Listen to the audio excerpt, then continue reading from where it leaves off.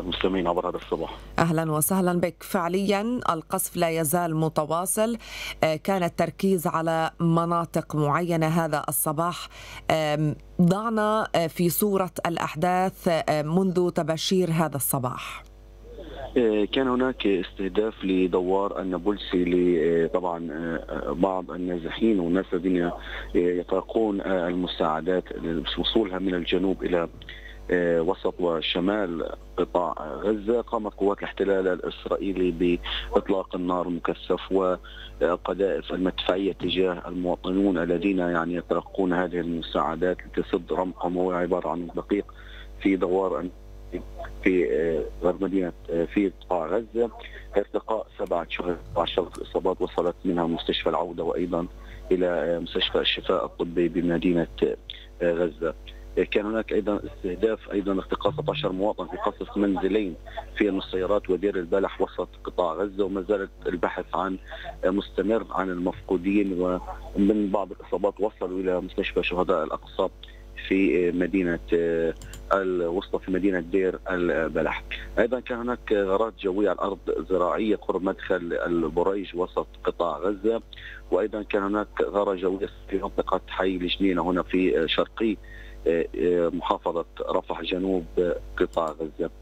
أيضا وصل هناك خمس اصابات جراء قصف إسرائيلي طال منزل في حي الجنينه أيضا شرقي مدينة رفح جنوب قطاع غزة ذي فهذه بعض يعني طبعا الأحداث الميدانيه وكان هناك أيضا اشتباكات ما بين المقاومة الفلسطينية في قرب مدينة خان يونس وشرق مدينة خان يونس وهناك إعلام العبر تحدث عن عملية ل طبعا المقاومة الفلسطينية في مدينة حمد في مدينة حمد في غربي محافظة خان يونس جنوب قطاع غزة حيث تقوم قوات الاحتلال الإسرائيلي. هناك محاصرة هذه المنطقة وفي نفس الوقت تقوم باعتقال المواطنين واعتقالهم بجهات مجهولة وتقوم هناك أيضا بعمليات تجديد في المكان وتدمير بعض منازل المواطنين في هذه المنطقة.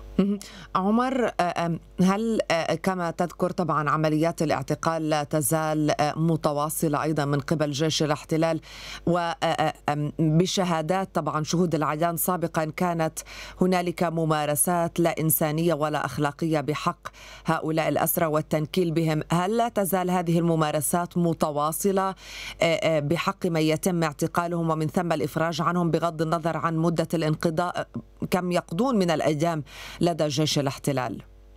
فعليا نحن تلفزيون الفجر رصدنا هذه الانتهاكات بحق المسلمين يعني الذين اعتقلتهم قوات الاحتلال في جنوب وفي شمال قطاع غزة تقوم قوات الاحتلال الإسرائيلي بممارسه أبشع يعني أبشع الجرائم ضد هؤلاء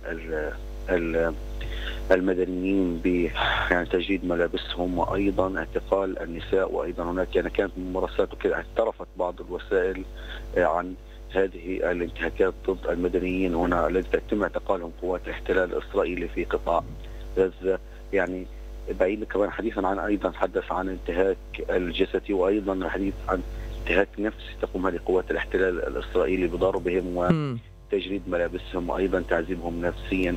تجاه هذه الحرب المتواصلة هنا على قطاع غزة. كثير تم اعتقالهم من الممرضين من الأطباء من الصحفيين من المعلمين من أساتذة الجامعات. كثير هنا تم اعتقالهم من قبل قوات الاحتلال الإسرائيلي. ومدراء مستشفيات هنا في قطاع غزة وتعذيبهم أيضا اعتقالهم حسب كل شخص مدة اعتقال. القوات الإسرائيلية تقوم يعني بالإفراج عن مجموعات من هؤلاء المواطنين كل فترة وفترة عن طريق معبر رفح جنوب قطاع غزة زي نعم. أيضا بالتأكيد نحن لازلنا بانتظار أن يكون هنالك إعادة الحديث عن الهدنة بشكل إيجابي والتوصل إلى ربما يعني اتفاق وجميعنا نعلم أن الآمال منعقدة لدى أهلنا في قطاع غزة وينتظرون بالفعل هذا النبأ وهذا الخبر خاصة وأن أيام قليلة بل وساعات قليلة تفصلنا عن شهر رمضان المبارك. وبالتالي هل لا يزال هذا الأمل يتدفق و يعني متواجد بالنسبة للغزيين. أم أنه بعد انقضاء عدة أيام في الحديث عن الهدنة يعني بات هنالك شكوك لدى أهلنا في قطاع غزة؟ فعليا يعني زميلتي وفاء يعني نتحدث عن موضوع الهدنة.